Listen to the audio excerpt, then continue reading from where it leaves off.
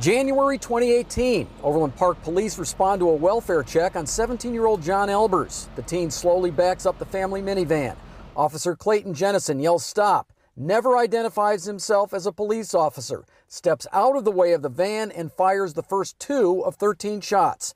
Investigators determined that evidence was not enough to charge Jennison with a federal crime, but note there are state laws for criminal negligence and recklessness. I'm grateful that they lay out the, that possibility. I, I think that they are um, showing that what happened that night um, was wrong and didn't need to happen. However, Johnson County District Attorney Steve Howe also concluded more than four years ago there wasn't enough evidence to charge Jennison.